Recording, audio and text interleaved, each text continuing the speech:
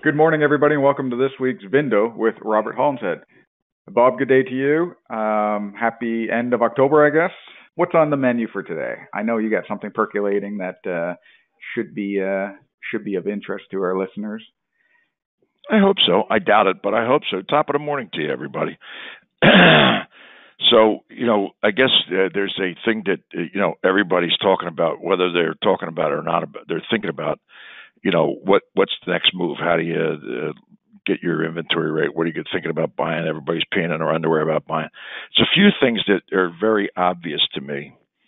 Um, you know, being a uh, quasi historian, uh, while we're car dealers, while we develop uh, and operate this software, there's cer- certain things that you know pop out in your head, and um, one of our products is Head Start, which is our management system that does you know four or five of the largest wholesalers in the world, uh, and we see data. And what we see is um, like real data, not like fugazi stuff that you know, like a, a market report or something has no relationship to the actual uh, characteristics of cars, uh, where they came from, who the auctioneer was, all that. Other words, just it's good information, but it's really not like I would call it the acid washed, where you actually know what what rely on. And here's what happens, right? So everybody's peeing in their underwear, and um, I don't want to buy. They got aged inventory. Days in market is skyrocketing, as anybody could see. You see it in AccuTrade. If you're an AccuTrade user, you go in and take a look at it. You can actually look at anybody's inventory. You can go into some of the big publicly traded companies and see their inventory is so far out of whack. It's incomprehensible. Like it's never been anything close to it before. I ain't going to name names, but you, you can go in and see where you know uh, a, a large swath of their inventory is 183 days old. So you know, publicly traded don't matter. You can overcome it. You can overtalk it. You can do all sorts of things. Somebody with skin in the game that actually has their cash in in the cars, you know, not other people's money. Um, is things you can't get over. So you, you can't get over it. You can't overlook it because when you actually need to face the music and start dancing, in other words, um, it it it's not like something you can just oh let's go have a drink. No, it goes right up your gazoo, and as a result, it's it's real. It's not fake. You know, it's coming out of the pantalones. You dig it, and um, um, a couple of things that come out of that. One, as we watch you know thousands of transactions a week uh, on the live marketplace simulcast, um, what we can see is a reluctance, if not a an aversion to buyers. Like if there's 340 or 522 people online and there's no MMR on a car and the car's cheaper than a box of rocks, nobody bids, nobody bids, nobody bids.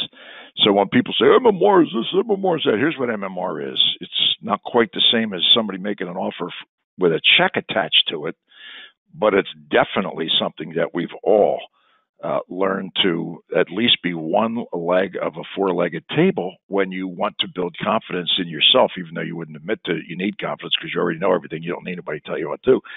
You love to lean on that to actually see uh, how far off or how far wrong it happens to be. But when it's an NA, not not not available, um, nobody bids.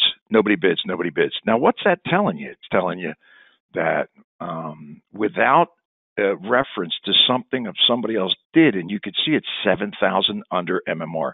It's bringing two G's over MMR for some unknown reason. You're still using that as a a, a reference. We obviously use AccuTrade as a, a, another little deeper dive into the VIN to understand what the car is worth and why we're saying what it is and what we would write a check for.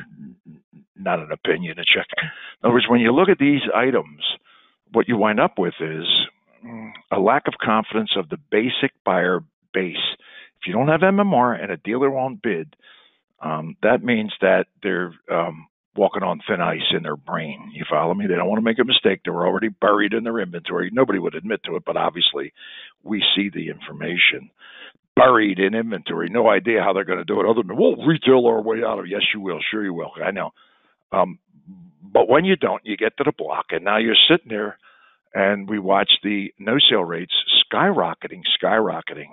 I'm not talking about on hamburgers, eight, nine thousand dollar cars, fifteen thousand dollar cars, still bringing very good money as long as they look and act like a car eh, until you try to get a check, and it goes into post sale for 480 things that never, never, ever see in a bad market. Everybody's looking for a way to get out. Buyer's remorse, even if you stole a car, looking for buyer's remorse to get out.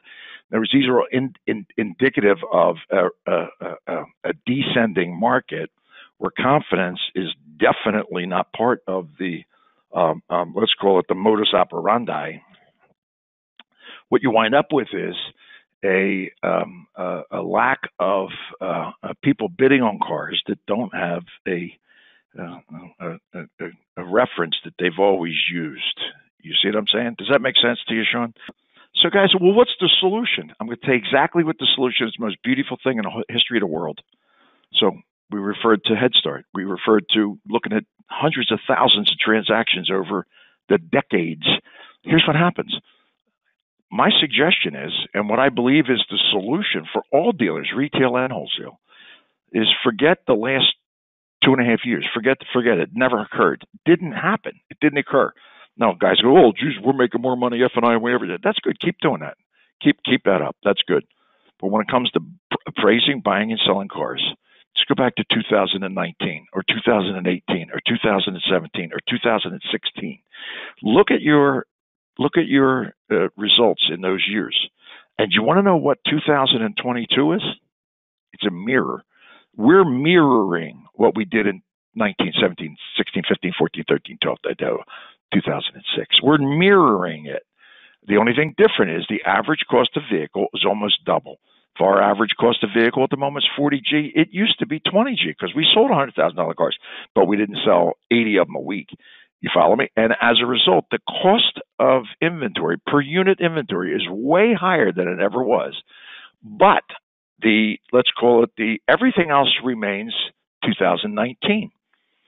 When you use these past two years of complete and utter, never to return insanity, and believe somehow or other it has any relevance to what we're doing today, you're going to continue to be a frustrated puppy. And, and you're going to wind up not bucking the the uh, let's call it the tide, but drowning in the tide. That that's my personal point of view. All you got to do is go back to 2019 and start doing business. Well, how much should I pay? What they're worth. In other words, what's the point of talking about MSRP? you know, we went into this brain fart of MSRP for a couple of years where for the first time in my 50 years it's a, it's an irrelevant conversation but all of a sudden it became relevant because you're getting 6000 over MSRP well that's not happening maybe on a few cars here and there it's still happening but it's not happening on every car i mean it was happening on cars you couldn't even stand to look at. It's happening on Hyundai's and Kias and Range Rovers. The cars that never you could dream of talking about what the MSRP is. Um, and all of a sudden, we're going back to reality where cars depreciate. They never, ever, ever go up in value. Check the last two and a half years. And then just take that out of your conversation and your brain and start doing business. You don't have to think about it. It's simple as pie. Does that make any sense to you, Sean? Because, boy, it makes all the sense in the world to me. Just eliminate the last since March the fifteenth of two thousand. Take it out of your head. Didn't it didn't happen. I hope it's still in the bank. I hope you got an extra fourteen million sitting in there after tax. I hope that's the case. It's a beautiful thing. Um, but don't act like it's going to happen again because you're going to start digging into that 14 mil and start passing it out as favors, you know, like a party favor. Uh, it ain't going to work out. That's that's hmm. my uh, moral for the day. Wonderful. Very needed and very timely. Thank you, Bob. Have fun, everybody. See you.